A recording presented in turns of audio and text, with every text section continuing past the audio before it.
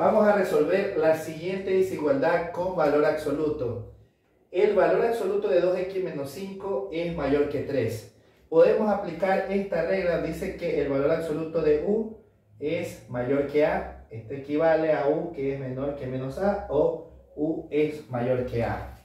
Por lo tanto, aquí podemos distinguir que u viene a ser 2x menos 5 y este es el valor de a, que es el número 3. Por lo tanto, las expresiones que harían 2x menos 5, que u, es menor que menos a viene a ser el número 3. Ahí tenemos nuestra primera desigualdad. O u viene a ser 2x menos 5. Acá nos dice que es mayor que a. A viene a ser el número 3. Procedemos a resolver. Tenemos 2x es menor que menos 3 este 5 que está restando pasa a sumar. Ahí tenemos 2x es menor, menos 3 más 5 sería 2. x es menor que 2 y este 2 que está multiplicando pasaría a dividir. x es menor que 2 dividido para 2 es 1. Aquí tenemos nuestra primera respuesta. Veamos acá de este lado. 2x es mayor que 3. Este menos 5 está restando, pasaría a sumar. Más 5, 2x mayor que 8 y x es mayor que 8 y este 2 que está multiplicando pasa a dividir. x es mayor que 8 dividido para 2 sería 4.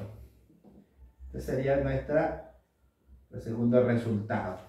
Ahora, para poder conocer nuestro resultado, debemos emplear una semirecta numérica.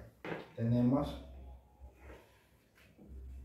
número 0, aquí tenemos el 1, 4, 1, 2, 3, 4. Está el 1 y aquí está el 4.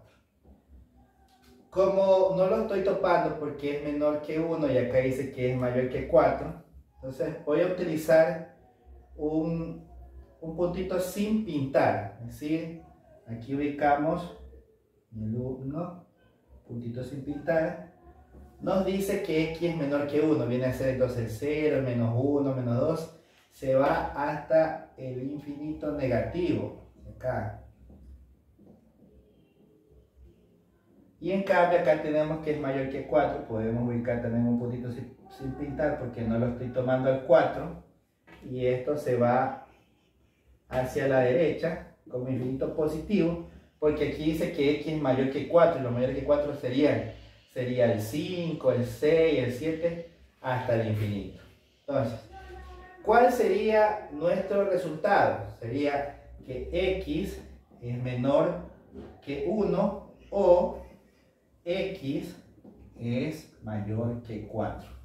También podemos expresarla de la siguiente manera, comenzando con menos infinito y va a llegar hasta el número 1. Entonces aquí ubicamos, está abierto, hasta el número 1, también está aquí abierto. Voy a unir unión, comenzando ahora del 4, también está abierto, ubicamos la coma, y el positivo infinito hacia la derecha que también está abierto. Así también quedaría nuestro resultado.